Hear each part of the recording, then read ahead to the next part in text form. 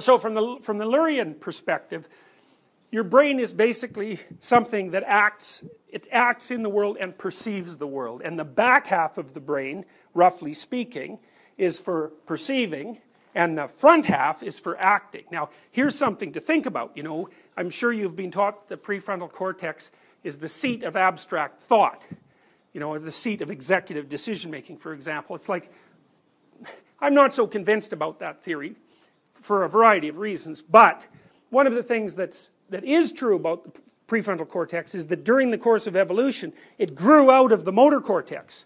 So if you look at this representation, the top one, there's the primary zone, which is the motor strip, and then the secondary zone, which is the premotor strip, and the tertiary zone, which is the prefrontal cortex. And basically what happened was that first animals learned how to act, and then they learned how to represent actions before they implemented them. So the purpose of thinking is to represent actions before you implement them.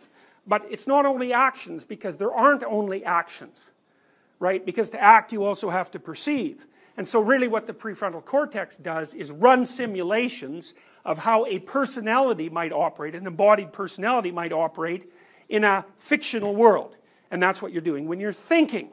It's also what you're doing when you're watching movies or reading fiction or any of those sorts of things, right? Instead of having to act something out and potentially dying as a consequence of it, you can watch something being simulated and see what happens, and then if the outcome is good, you can implement it, and if the outcome isn't good, then you can let it die. And so I think it was Alfred North Whitehead that said, um, the purpose of thought is so that we can let our hypotheses die instead of us. That's smart. That's a very smart thing. And so what's happened in some senses that human beings have gone from evolution to meta-evolution, right? Instead of evolving, we can model evolution and then implement the ideas, the, the personality, so to speak, that we think are most functional. And we let, the, we let our fantasy do the selection instead of the actual world. Man, it's a brilliant solution. It's a brilliant solution.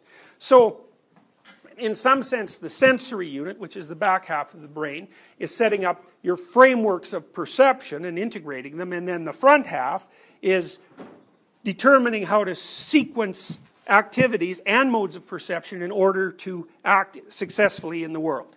Right? And so there's the actual implementation of the action, and then there's the modeling of the implementation, which is what gives rise to thinking. And I, I do think that it's very useful to think of thinking as a simulated personality, fundamentally. You're running avatars of yourself, in some sense, in your imagination and trying to determine which ones are going to be successful. Now, you may have noticed, given that I used the word avatar, that we've also now figured out who how to externalize the process of fantasy back into the actual world so that we can run simulations in fantasy on machinery and we can play out potentials that way instead of only having to do it in our brain you know and it's that's very very smart that's that's extraordinarily smart, and it's really going to change things. God only knows for how.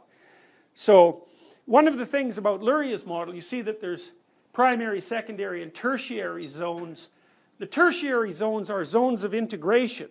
The primary zones are zones where, especially in the sensory systems, where each sense is elaborated in its, in its highest resolution sense before it becomes integrated with the other senses. And so the tertiary zones are actually areas of overlap between the, sense, between the senses.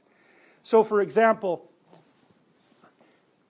when you, when you read silently, my experience of reading silently is I hear the words in my head, so to speak.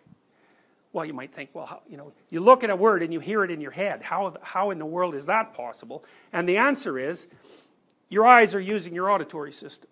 So there's overlap between the visual and the auditory system in the tertiary zones. And so basically what you're doing is hearing with your eyes. And you know, your consciousness has this property of unification, right? It's sort of like a unified experience. And Luria believed that it was the tertiary zones that gave rise to that phenomena of unified experience. He's a very smart character. So the point is, is that the motor unit is basically utilized, the part of us that, that does planning, forward planning and forward thinking is utilized to lay out simulated personalities in the world. That's a good way of thinking about it. So, okay, so that's one kind of neurological model.